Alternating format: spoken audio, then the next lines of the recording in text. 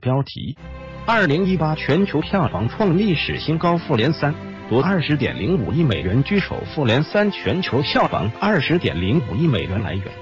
时光网二零一八年已经来到尾声，据媒体监测公司 Comscore 于十二月二十七日发布的数据，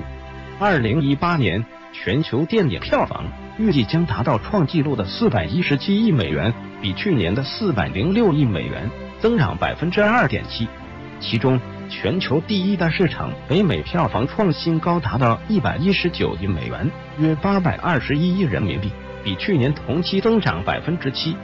比最高纪录的二零一六年增长百分之四，迪士尼占据了百分之二十一的北美票房份额，在全球票房上也豪取七十亿美元。《复仇者联盟三》是今年唯一一部全球票房超二十亿美元的电影。全球第二大市场中国票房也创新高，十一月的时候，二零一八年内地票房就超越了去年。截止十二月二十六日，内地综合票房。已达五百九十五点八九亿，分账票房五百五十五点五亿。预计到十二月三十一日，全年综合票房有望突破六百亿大关。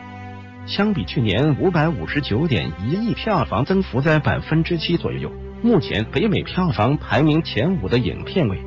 黑豹》七亿美元，《复联三》六点七九亿美元，《超人总动员二》六点零八亿美元。《侏罗纪世界二》四点一七亿美元，《死侍二》三点二四亿美元。全球票房排名前五的影片为《复联三》二十点零五亿美元，《黑豹》十三点五亿美元。